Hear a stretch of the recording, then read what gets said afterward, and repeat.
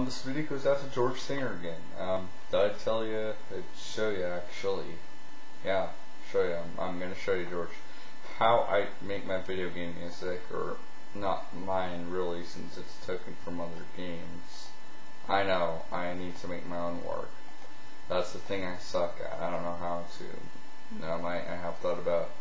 I'm, I'm serious about becoming a video game music composer, and the problem is how do I compose my own music? I'm going to show you what program I use. Um, I, I, I told you this by email, I, I believe. It's called AdLib Visual Composer, although I call it AVC for short. Um, yeah. Sorry, my friend's messaging me on AIM. Um, ignore it. Um, anyways, um, I don't know if you've heard of DOSBox. A DOS emulator. I, I used that at first. Um,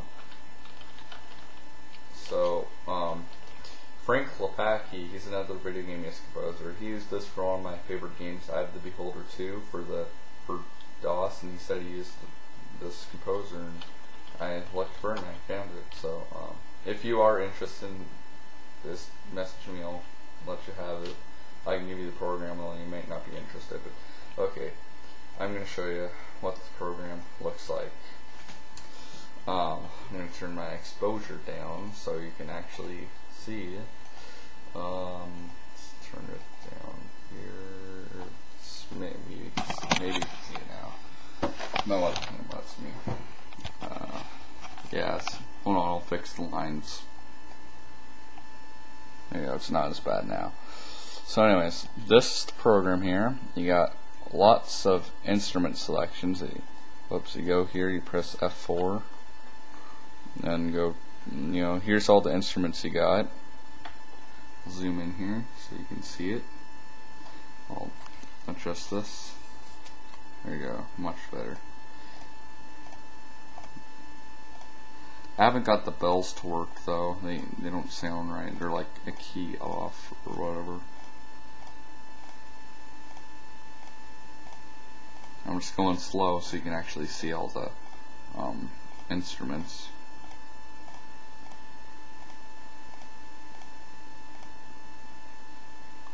Those are all the instruments. So there's lots of cool instruments to choose from. I'll just um, I'll show you one of the songs that I've um, done. Uh, um, actually, I'll just do one of your works. This is the Game Over and ending song from Home Alone. I'm sure you remember this one.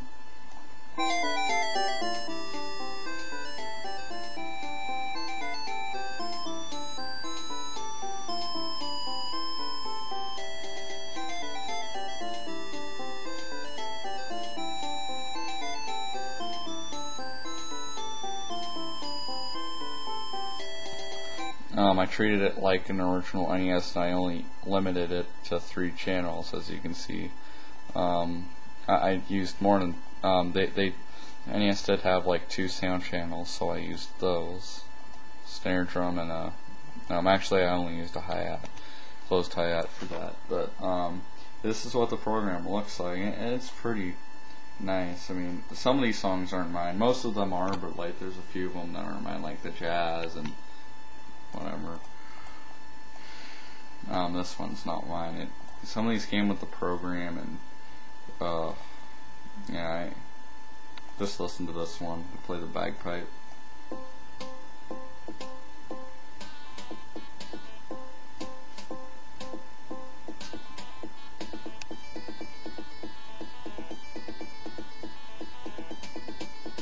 And what I like about this program is that you don't um, need to know how to read music. It you know you can just you literally visually compose something. So yeah, it, it's it's a really nice program. You should try it sometime. I mean, I don't know of any other composers out there except Mario Paint Composer, and that one kind of sucked. But um, yeah, definitely you know check it out if you can. Um, I still have an old 98 computer with a Sound Blaster card. Um, although some games it crashes or whatever. I think it's too much for the computer maybe or something, but this is what AdLib Visual Composer looks like. This is what I use to compose all my music on. It's really, it's probably the best music composing program I've used of all time. So, camera back up here, and I'll make it so you can see my face again. I don't want to remain a mystery to you. That's better. Now, I'm going to show you my other hardware or whatever or stuff. Um, I do have Cubase LE. I got too frustrated with this program. I just said screw it. Started using Adlib Visual Composer. But if you, um, and that's because I, when I exported it to a MIDI file, it wouldn't um, use the instruments I wanted it to. Maybe you could help me with that. But um, I think you know more about MIDI and all that than I do.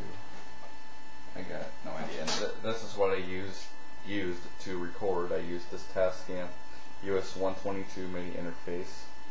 Um, so, oh, it's pretty heavy. It's not that heavy. I mean, I can carry it with one hand easily, but it's hard to explain. Maybe a few pounds. And then the piano I would record on is, I don't know, got left into my. This is a Kurzweil, um, a Kurzweil, however you say it. Um, it's a Mark 10W ensemble grand piano, and one of the keys is kind of broken here. It, it still works, but it, it's like it like it's like too soft or whatever. I see I can press it down right now really easily. But um, anyways, yeah, I use that to record. It's got a really awesome sounding drum set. Let me show you.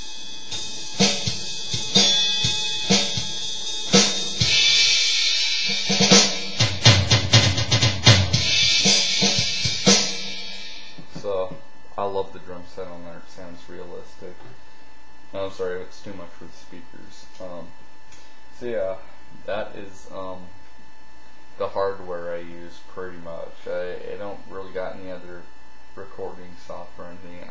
Cubase though was just too frustrating. Hopefully you can help me. I mean, I will, I will like do anything if you can help me with that. But anyways, um, thanks for watching George Sanger. I will see you later. Or I'll call you the Fat Man, whatever one you prefer. So, peace out, my man.